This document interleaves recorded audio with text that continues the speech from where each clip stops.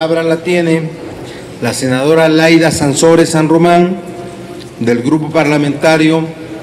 Adelante, per, permítame, doy turno y ahorita le doy la palabra. Tiene la palabra la senadora Laida Sansores San Román, del grupo parlamentario del Partido del Trabajo, para presentar punto de acuerdo que propone a la Junta de Coordinación Política la creación de una comisión especial investigadora de la posible configuración de actos de corrupción, tráfico de influencia y enriquecimiento ilícito derivado de los hechos de la adquisición del inmueble conocido como la Casa Blanca. Permítame, senadora Laida, no hago uso de la palabra hasta escuchar al senador Miguel Romo desde su escaño. Adelante, senador. Gracias, señor presidente. Solamente para solicitar o preguntar a la mesa si debemos o no ceñirnos a lo que se contiene finalmente en lo aprobado de la orden del día. Eh, en consecuencia, no tenemos registrado ningún punto de acuerdo eh, en este sentido en el capítulo que estamos de la señora senadora Sansores. Eh, sí está publicado, senador Romo. Este, ¿Tiene usted a la mano la forma de consultarlo? Sí aparece en el orden del día. Adelante, senador. Gracias, presidente. Compañeras, compañeros, firmo lo que presentó mi compañera Dolores Padierna y quiero insistir en que México vive una profunda crisis y que esto no es una algarada, no es una revuelta, eh, no es un movimiento estudiantil, no es una rebelión, es una insurgencia ciudadana que ha llegado al hartazgo al límite de su tolerancia. Se destapó con Tlatlaya, se detonó con Ayotzinapa y la Casa Blanca arrojó el cerillo para que el ánimo popular se incendiara. La Casa Blanca pintó a Peña Nieto de cuerpo completo, como inepto, como cobarde y como corrupto. Inepto por su forma inadecuada de enfrentar el problema. Senadora, Porque en lugar de dar soluciones, Senadora, permítame. se dedica a buscar culpables. Sí, presidente. Sí, solamente la recomendación de que el lenguaje que util- utilicemos No es ningún insulto, es solamente la verdad, presidente. Permítame expresarla. Es Como una- senadora, como legisladora, no se puede coartar mi libertad de expresión, como tampoco se debe coartar la libertad de expresión de los ciudadanos. No estoy diciendo insultos, estoy diciendo lo que es mi punto de vista y cómo lo veo y cómo es, la una realidad. recomendación del presidente del Senado y usted puede atenderla o no. No, claro que, claro que la rechazo. Adelante, senador.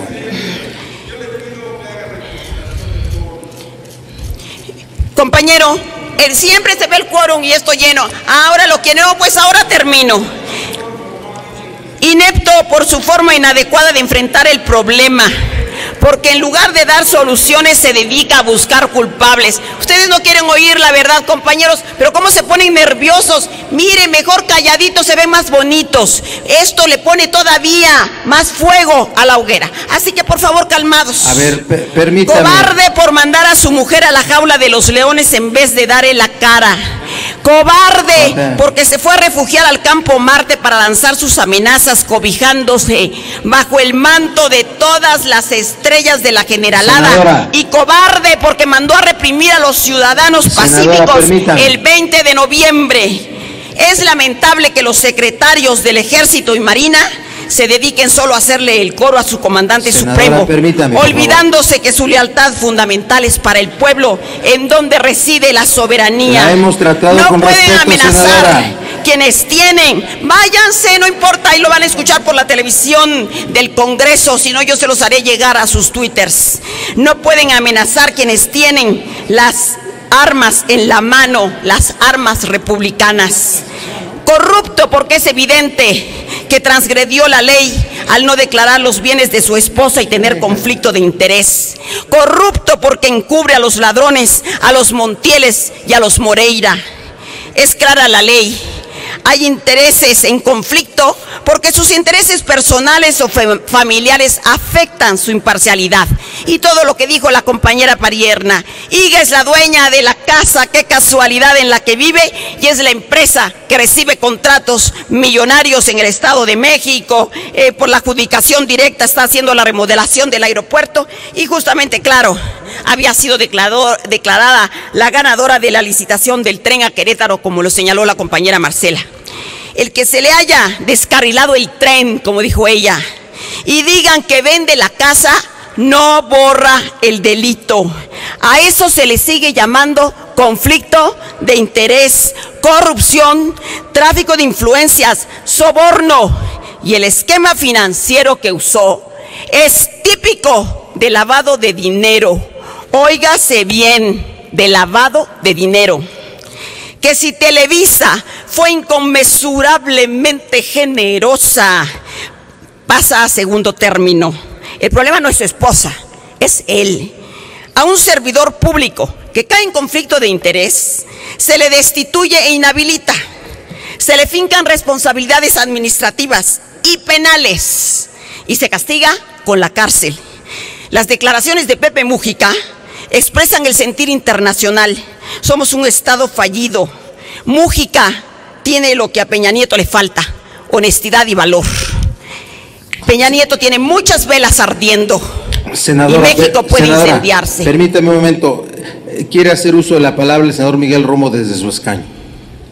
Gracias, señor presidente. Nuevamente para rogarle, ante la evidencia clara de la presencia de los señores y señoras senadoras, que haga usted, por favor, con base al artículo 59 de nuestro reglamento, una verificación del quórum. Presidente, aquí nunca se declara falta de que no hay quórum, así sean tres que estamos nada más sentados. No vengan con esas argucias, por favor, aguanten, aguántense realmente como senadores dignos y responsables. El trámite lo dicta la presidencia. Senador Romo, voy a, a determinar la rectificación del quórum una vez que concluya la oradora.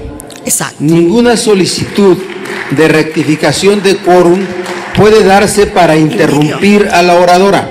Por eso estoy, estoy esperando que termine para en ese momento ordenar la rectificación del quórum. Si me permite, es el procedimiento, si me permite, señor, sí, de acuerdo.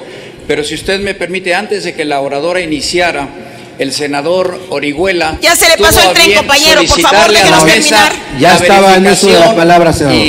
este, Yo ya estaba en uso de la palabra, demasiado tarde. Y son argucias. O quédese o váyase si no quiere escuchar. senadora, que le restan algunos segundos. No, no, no. Mi compañera Padierna tuvo 15. Por favor. Adelante, senadora. Por ello, propongo la creación de una comisión plural de senadores para que investigue este caso, que adquiere mayores dimensiones dadas las condiciones de crispación social. Y la Casa Blanca, Ayotzinapa, la manifestación del 20 de noviembre y la violencia ejercida por la autoridad contra los manifestantes son polvos de los mismos lodos. Ayotzinapa es la última llamada. Y decenas de miles de ciudadanos en una marcha histórica salieron a las calles a manifestar su hartazgo y a exigir la renuncia de Peña Nieto. Eso es lo que no quieren oír los priistas. Ahí se persinan. Él advirtió que no aceptaría la violencia en las manifestaciones de protesta, pero lo que no dijo Peña Nieto es que él sí se daba permiso para ejercerla. Y los actos vandálicos no se dieron por parte de los ciudadanos, sino por parte de Peña Nieto y el señor Mancera, que tiene también una responsabilidad. Es grave que elementos del ejército vestido de civiles hayan sido infiltrados para incitar a la violencia. Lo inaceptable es que este gobierno hipócrita condene la violencia, pero a la vez la provoca y la ejerce. La represión a ciudadanos manifestándose pacíficamente se llama eh, terrorismo de Estado. Y en una operación claramente planeada, ante la señal de una luz que recuerda la luz de Bengala, que anunció la represión en Tlatelolco, miles de militares empezaron a avanzar hacia los ciudadanos como barredora humana los insultaban, pinches viejas, no que querían venir, pinches putas, para ser más claros. Esa era la como se dedicaban a las mujeres, hoy justamente en el Día de la No Violencia hacia la Mujer, para recordar la actitud caballerosa de los policías. No se espera que sean caballerosos, solamente se espera que sean responsables, que tengan un protocolo para actuar y no se dediquen a insultar a los ciudadanos que no están cometiendo ningún delito más que el de ser ciudadanos. Empezaron a avanzar insultándoles, golpeándoles con cascos, escudos, toletes, a patadas, sin importar si eran de la tercera edad, mujeres, jóvenes, padres, cargando a sus hijos, como lo muestran en las redes eh, en todo el país. La gente corría arrastrando niños y caían al suelo y en el suelo los golpeaban. Se habían formado embudos en las salidas de las calles y eso puso en peligro a la ciudadanía. Arremetieron contra los que estaban al otro lado del palacio, apagaron las luces, cerraron las calles y se dedicaron a prender a jóvenes sin motivo. Se violó el debido proceso. Fueron enviados a penales de alta seguridad y hoy tenemos 11 presos políticos. Y el colmo, que Osorio Chong en televisión nacional firmara su sentencia criminalizándolos. Las únicas pruebas que presentó la autoridad son los testimonios de los policías que los agredieron y como indicio irrefutable de que pertenecían a un grupo subversivo es que entre ellos se llamaban compas. Cuidado, compas de Sinaloa. Son estrategias fascistas. Solo un presidente aterrorizado siembra terror. Ya están anunciando con fanfarrias que habrá otro gran pacto que si por la legalidad, que para combatir la inseguridad, el problema es que Peña haga lo que haga, diga lo que diga, no puede estar al frente de ninguna propuesta. ¿Por qué? Porque ha perdido toda autoridad moral, porque ha perdido toda credibilidad y no hay argamasa para juntar de nuevo la confianza quebrada de un pueblo.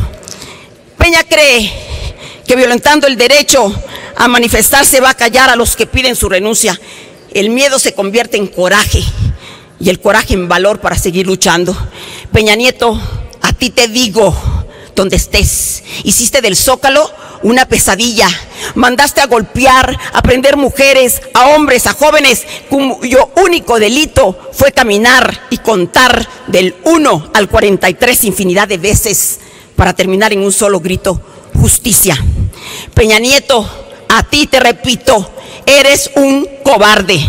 El 20 de noviembre mandaste a golpear a los ciudadanos en la oscuridad, entre ellos a mi familia y a mis hijos, mas no le provocaste miedo, les diste fortaleza. De la misma forma, permitiste que en una noche oscura, en una luna nueva, se asesinaran y desaparecieran los 43 estudiantes de Ayotzinapa. Pero la muerte de unos y la desaparición de 43 vino a darle fuerza y luz a un pueblo adormecido. Y la salida más digna, Peña Nieto, es que renuncies. Pero si eliges por la represión, no te van a alcanzar las macanas, los gases, las cárceles, las balas. Porque si quieres apagar las voces de un pueblo herido e indignado hasta las entrañas, lo que sigue, y mídelo bien, es como dice Benedetti, ponte a juntar todos tus odios y empieza a matar para seguir matando. Gracias, presidente. Cumplió su palabra. Túrnese a la Junta de Coordinación Política.